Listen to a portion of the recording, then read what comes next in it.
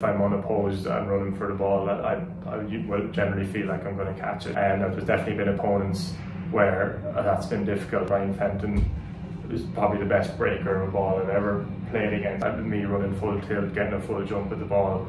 If he is behind me, still breaking it all day. So there is players that I know I'll try and manoeuvre the, my position that'll put me in more of a favour. So try and get where they're not behind me, so they're in front of me, and I'm basically going to try and jump on them to catch it and take away their ability to break it, or uh, in recent years, I got a lot more confidence in my ability to, to jostle and catch a ball standing. It means the person that marking me has to think about things an awful lot more, right? If they stand behind me, I mightn't necessarily run and jump at this, I'll just stay in front of you and make sure you can't reach it so and catch a chest height. Or if you know, like they try and take the space in front, that's when generally I get a good jump at it and hopefully catch it at its highest point.